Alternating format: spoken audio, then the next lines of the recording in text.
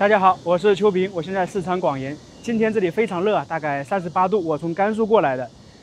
中国古代大概有差不多五百位皇帝。我们经常说皇帝到底是怎么什样子的？因为从古至今，皇帝留下来的画像很少。可能明清的大家都知道，但是在之前很多皇帝的样子就找不到了。那么今天我们来到这个地方呢，是四川广元的黄泽寺。听说中国唯一女皇帝的真身塑像就在这里。所以呢，今天我们就来看一下武则天到底是长什么样子的。这里就是黄泽市，刚好在广元嘉陵江旁边。嘉陵江穿越广元，对面就是广元的城区。嘉陵江到哪里结束呢？到重庆，重庆汇入长江。所以广元也是一座在江边的城市啊。广元的城区就在对面。这座黄泽寺的身份地位不简单。是国内唯一的武则天的寺庙，并且寺内还保存着很多石窟、佛窟，有四十一个龛，一千两百零三区各种的摩崖造像，非常珍贵啊。所以呢，在这个地方呢，我们说穿越千年的时光来去寻找武则天的真身塑像，就在这个地方。所以这个地方呢，尽管说这个寺庙不是太大，这个山也不是太高。但是呢，被很多专家誉为是中华传统文化的瑰宝。这座寺庙已经有一千三百多年的历史了，在历史当中也经常被损坏。进来了，我们首先看到是一个二圣殿。二圣殿顾名思义，大家都知道吧？李治还有武则天，因为两个人都当过皇帝。那么这里的二圣殿所看到的李治也好，武则天也好，都是中晚年的形象，因为在那个时候他们统称二圣。那么很多人都会说李治，呃，软弱无能，没有能力。其实刚好相反，李治的能力是相当强的。武则天能够掌权，地位提高，都是李治在后面一步步推动的。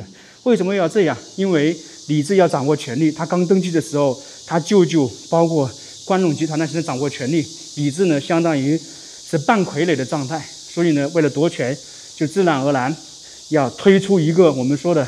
盟友一样的，他就利用武则天。当然了，李治是很喜欢武则天，这是不容否认的。所以说，李治啊，确实在历史当中，我影视剧当中说了他是没有能力。但是呢，大家一定要记住，他在的时候，武则天根本不能怎么样。大家发现没有？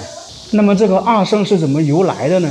他是公元六六四年，每次上朝议事，皇帝呢坐在东间，皇后坐于西间，正无大小。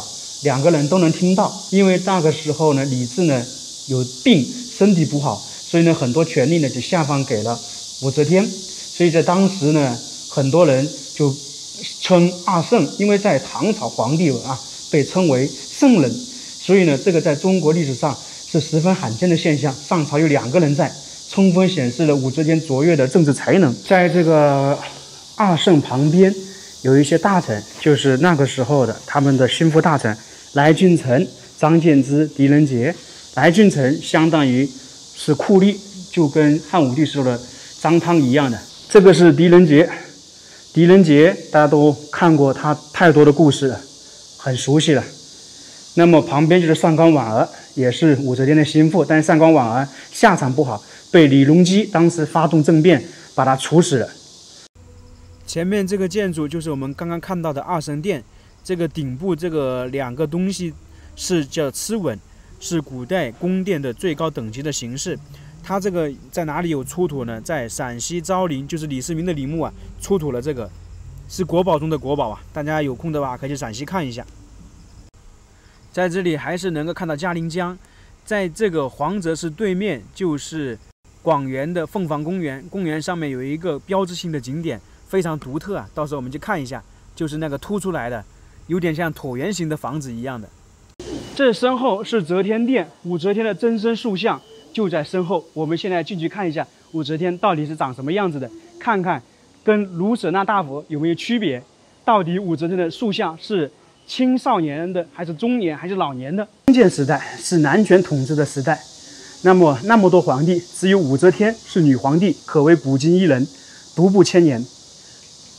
广元呢，古称利州，它是武则天的故乡，孕育了一代女皇武则天。当时她的父亲呢，任利州都督，在这里呢生下了武则天。武则天的一生叱咤风云，指点江山。十四岁入宫，在宫中差不多当了十年的才人，不得李世民的宠幸。但是呢，他跟李治我们常说的勾搭上了。三十四岁参政，六十五岁称帝，八十一岁去世。他执政和称帝呢，差不多五十年，也就统治了唐王朝大概五十年。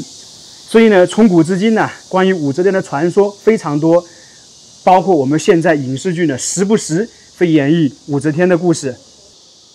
我们现在来看一下，这个就是武则天的真身塑像，看一下，像不像？这个应该算是武则天晚年的形象，不是中年，也不是青少年。感觉怎么样？是不是有点像一个菩萨坐在这里，金光闪闪的？它应该算是真身塑像，全国地方没有啊，就是唯一的一尊。现在我们来介绍一下整个武则天的真容像，大概高度是一点八米，是整块砂岩雕成，特别是它这个做的形状，大家发现没有？就跟我们说的是一个佛像在打坐一样的，头戴。高宝冠，冠中是坐佛，颈配项圈，它颈部呢有项圈，双手于腹前做禅定印，所以呢就有点像我们说的菩萨。它这个像呢，也就是菩萨的装饰像，表现的是武则天老年时期的形象，可能寓意是弥勒佛转世及晚年登基做皇帝自己死时，这也是国内唯一的一尊武后真容石刻像。大家看看武则天样貌，是不是非常庄严？其实看她的相貌，也能感觉到与众不同啊，气势不凡，对不对？我们经常说看赵高的画像是不寒而栗，那么看他的画像呢，一眼能就感觉武则天这个气势、这个容貌、这个气质都是与众不同的。所以这个千古之谜，武则天到底长什么样子，在这里看就知道了，就明白了。在这个地方，武则天是属于正在禅思，就是我们说的在入定一样的，在思考，因为她比较信奉佛嘛，所以在唐朝的时候出现了很多高僧，玄奘、悟空等等，还有一些慧能吧，还有一个东渡日本的，好像都是唐朝的和尚。武则天一生也非常不容易，也非常伟大。你想想，从十四岁入宫。八十多岁去世，将近在皇宫啊，基本上生活了七十年，他是很高寿的，他母亲也非常高寿，所以他遗传了他母亲的基因。武则天其实跟李治的感情是非常好的，基本上从武则天在感业寺重新回到皇宫之后，基本上一年一个孩子，生了好多个。所以，经常有很多人说，武则天她当过皇帝，为什么后面她没有清算？这是因为，你要看后面继承皇帝的是谁？继承皇帝的是他儿子。作为儿子的话，不可能清算自己的母亲吧？自然而然，他的荣耀还是非常高的。因为武则天去世之后，整个唐王朝后面所有的皇帝都是武则天的后人。你假如说不是武则天的后人，他肯定会遭到清算的。在陕西看到。赵高的画像说不寒而栗，其实武则天的像也让人不寒而栗，因为作为皇帝，他也是心狠手辣的，基本上杀了很多人，他的孙子孙女也被他刺死了，也可以说看到他就胆战心惊。当时很多人是不敢跟武则天面对面的。我们再这样看一下武则天的真容像，大家觉得如何？假如说我们穿越到那个时代，看到武则天的这种画像的话，绝对会紧张的。那我们现在去其他地方看一看。看完它的塑像，我们去后面的山看一下，它上面还有很多这种佛窟，所以呢，看看能不能找到一些关于武则天的资料。这里面有很多佛像，都有点像千佛洞、万佛洞一样的，密密麻麻的。这个是。柱窟，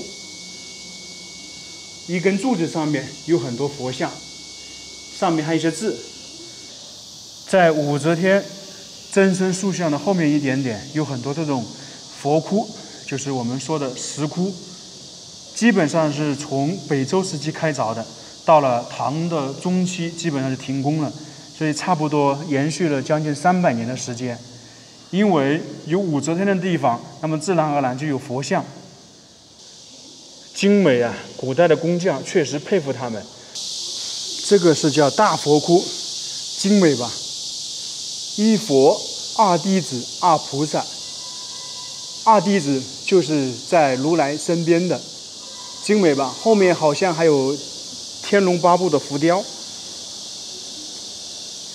这个是初唐的杰出代表啊！黄泽寺基本就看完了，武则天的真身塑像就是这个样子。所以大家如果要知道武则天长什么样子，就来四川广元的黄泽寺看一看，非常不错吧？大家看到会不会害怕？跟大家想象的武则天的样貌样子有什么区别没有？大家可以说一说你的看法。